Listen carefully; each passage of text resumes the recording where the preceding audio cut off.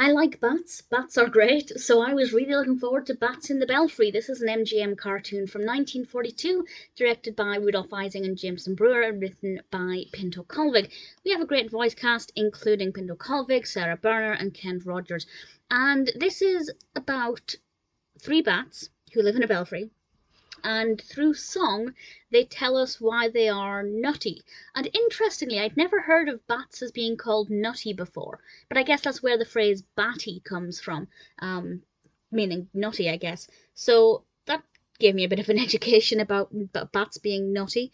Um, and they sing about how the belfry makes them the way they are, and it's it's not too bad. The song's quite catchy. It's quite addictive. I rather liked it. The animation, there's not much to look at. There's not much going on it's basically about the bats moving around and somewhat dancing to this this music, this song that they're singing. With regards to the design of the bats, they're definitely an interesting color.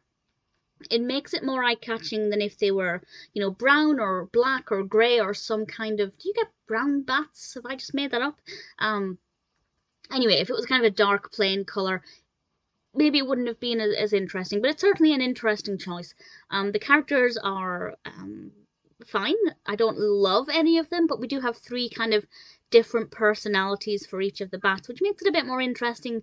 They're also different heights, so it's more visually interesting than, for example, if they'd all been the same height and you know, all looked the same and had the same personalities. But I felt like after the halfway mark, it kind of wore a bit thin and it kind of lost the appeal.